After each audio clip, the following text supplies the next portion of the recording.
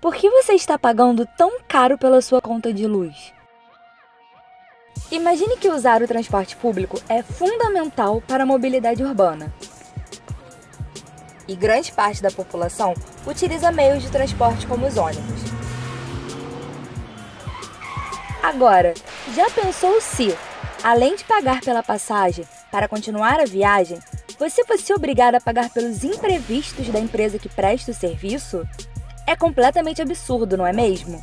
E tão absurdo e injusto quanto isso é o que as concessionárias de energia elétrica estão fazendo com a sua conta de luz. A cobrança das bandeiras tarifárias é ilegal.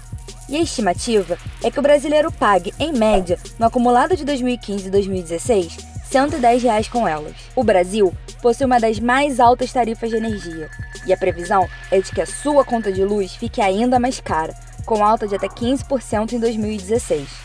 Só em 2015, as empresas faturaram 15 bilhões só com as bandeiras tarifárias. O que você vai fazer? Vai continuar pagando por uma conta que não é sua?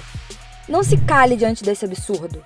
Junte-se a proteste, assine a petição e nos ajude a exigir o fim da cobrança ilegal das bandeiras tarifárias.